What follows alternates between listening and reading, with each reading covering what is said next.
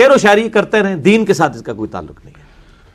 اگلا سوال ہے کیا درگاہ بی بی پاک دامن میں اہل بیت کی قبریں موجود ہیں؟ یہ سوال اس لیے کیا گیا کہ بہت سے لوگوں کی عقیدت وابستہ ہے وہاں لہٰذا اس بارے میں جو غلط فہمی ہے اس کا ازالہ کریں۔ کیا عقیدت وابستہ؟ میں کہتا ہوں جی اگر سیدنا حسین علیہ السلام کا روزہ بھی ہو پاک پاکستان کے اندر دین وٹ آپ نے اس میں سے کرنا کیا ہے؟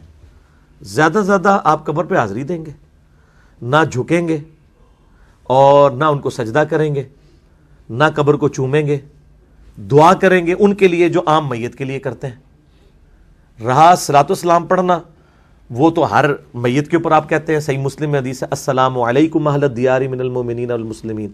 آپ وہاں جا کے السلام علیکم یا جو ہے وہ ابا عبداللہ حسین ابن علی، یہ کہہ لیں، اسی کا فرق پڑتا ہے۔ اگر آپ کہتے ہیں کہ اس کی وجہ سے کوئی ادھر فرق پڑ جانا ہے میرے بھائی، تو انہی سے پوچھیں کہ اگر انہی چیزوں کی وجہ سے فرق پڑنا ہوتا ان مزارات کی وجہ سے۔ اس وقت دنیا میں کافروں کے زیر اثر سب سے بڑا ملک مسلمانوں کا ہے ہی عراق ہے۔ اور سارے مزار ادھر ہیں، کربلا بھی ادھر ہے۔ تو کوئی فرق تو نہیں پڑا۔